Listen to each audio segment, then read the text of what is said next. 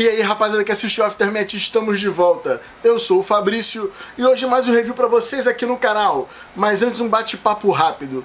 Sábado agora foi ao ar a jogatina com os apoiadores do canal. A gente jogou uma partida de Seven Wonders lá no Board Game Arena, que é uma plataforma gratuita. Ele tem alguns jogos prêmios, mas se você virar prêmio, você pode montar a mesa desses jogos. Nada te proíbe de jogá-los. Então eu virei premium, montei uma mesa de Seven Wonders, chamei os apoiadores do Aftermath, a gente jogou a partida e gravou. Então todo mundo que for apoiador do Aftermath, a preferência é para quem é brother. Mas no momento, como a gente tem 50 apoiadores, eu tô jogando com todo mundo que tiver disponível e gravando. A ideia é gente fazer mais conteúdo assim durante o mês. E além disso tudo, quem é apoiador do canal participa do sorteio de jogos. Quem participa esse mês do nível Brother e o Compadre, ó, vai participar de um sorteio de um Five Tribes, cara. Esse jogão maneiríssimo, bonito. Eu tenho ele desde a versão gringa que foi lançada lá fora e gosto muito de jogar, tá no meu top 10. Então se você for compadre ou brother, participa do sorteio dele. Se não for compadre ou brother, for só do forte abraço, vai participar de sorteio também, porque tem jogos que são sorteados entre todos os apoiadores. Nesse mês é o Pequeno Príncipe e vai ter um pacotinho, um kit da Paper Games, que é o Hanabi e o Quem Foi, que são os dois jogos novos deles que foram lançados no Diversão Offline. Então se você virar apoiador do Aftermath esse mês, são três sorteios se você for do nível compadre brother. Se for o Forte Abraço, que é o nível de 10 reais, você já participa de dois sorteios, que é o Pequeno Príncipe e o Hanabi e o Quem Foi. Beleza? Vamos agora aqui agradecer, não posso deixar de agradecer aos nossos, nossos patrocinadores que ajudam a Aftermath a continuar criando conteúdo, a conseguir jogo para sorteio, a conseguir o apoio no PicPay, que está sendo fundamental para a gente conseguir melhorar as coisas aos poucos aqui no canal.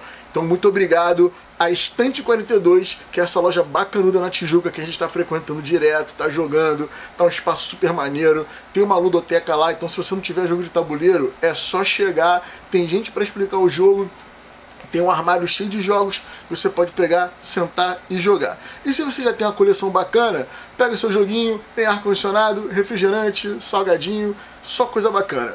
E os nossos queridos amigos da Turnos, que fazem camisas, canecas, porta-dados, uma bolsa maneiríssima. Quem é do Rio de Janeiro foi nos eventos, já viu com essa bolsa. Cabe três jogos, um monte de jogo pequeno. É sensacional, é bem bacana os produtos da Turnos. Que nesse mês também está participando do sorteio. Se você for nível compadre nível brother, vai ganhar um voucher para comprar uma blusa né, na faixa da Turnos. Então fica ligado aí, torne-se apoiador para poder participar desse monte de sorteio e ganhar esses prêmios bacanudos. E vamos falar do jogo de hoje, ó. Scarabia, lançado no Brasil pela Galápagos Jogos, do designer Bruno Catala e do Ludovic Malblanc. Eu tô lendo porque eu sempre chamo ele de Montblanc e não é Montblanc, é Malblanc. É um jogo de 2 a 4 jogadores e cada partida vai levar ali uns 20 minutos. E a mecânica do jogo é colocação de peças. Qual é a pegada do Scarabia? Cada jogador é um explorador que tem que usar os tiles para montar o seu acampamento e ir explorando o tabuleiro. Conforme você fecha determinados espaços, né, na verdade, quando você fecha uma área com quatro espaços, você pontua os escaravelhos que você conseguiu descobrir naquela área. Então você tem um deck central da onde sai o tipo de tile que você vai usar, coloca o tile, respeitando as regras que eu vou explicar no bloco 2, fechou uma areazinha, pontua por cada escaravelho. Vamos para o bloco 2, onde eu explico as regras e mostro os componentes, e depois eu volto com as considerações finais. Cada jogador recebe a moldura dessa, quatro tiles que vão compor seu tabuleiro para colocar as peças, oito marcadores de rochas né, que vão entrar também no seu tabuleiro, todos os seus tiles que você vai utilizar, e aqui no centro da mesa fica a pontuação, quando você conseguir pontuar, e as cartas que vão dizer qual peça você vai utilizar. O primeiro jogador vai escolher um tile desse e vai colocar dentro né, da sua moldura todos os outros jogadores vão botar essa, esse tile na mesma posição, da mesma maneira igual. No final, todos os jogadores têm que ter os mesmos tiles nas mesmas posições. Aí você vai pegar suas rochas e colocar nos quadradinhos abertos, porque essas áreas não podem ser ocupadas pelos seus tiles. O primeiro jogador vai pegar o deck, vai virar a carta, todo mundo vai pegar essa peça aqui, no caso essa, e vai alocar. A primeira peça, um pedaço dela tem que ficar em cima dos quatro quadrados centrais né, da sua área de exploração. Então posso pôr assim, ó. posso pôr aqui assim, posso pôr assim, mas tem que respeitar esse esquema de colocar no primeiro, nos quatro quadrados centrais. Conforme você vai revelando, você vai pegando as novas peças. Então, por exemplo, isso aqui é o T, eu vou pegar aqui o T, cadê o T? Ah, tá aqui.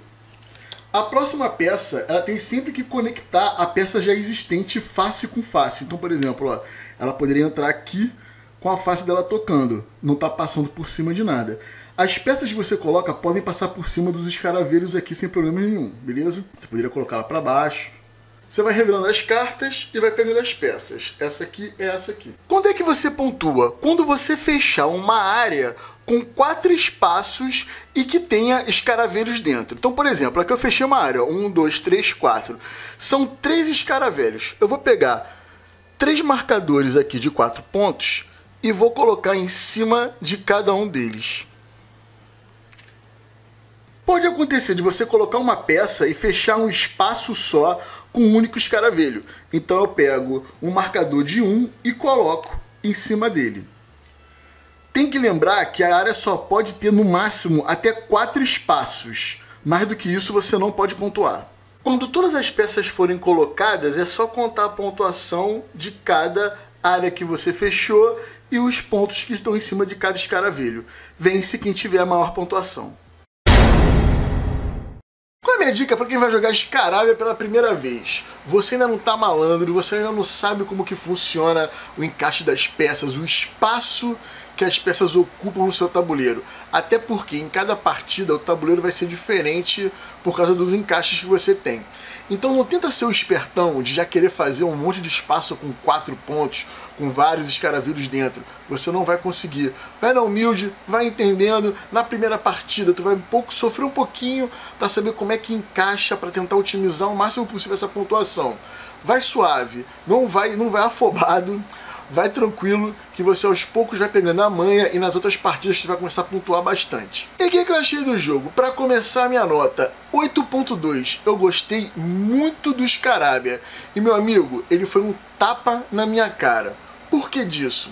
Quando eu vi ele sendo anunciado, eu não dei muita bola para ele não. No Diversão Offline do Rio de Janeiro tinha um gigante na parede lá para o pessoal ficar, poder ficar jogando, nem me chamou a atenção. Eu meio que, ele meio que não passou no meu radar. Eu ignorei ele, vou, vou ser bem sincero.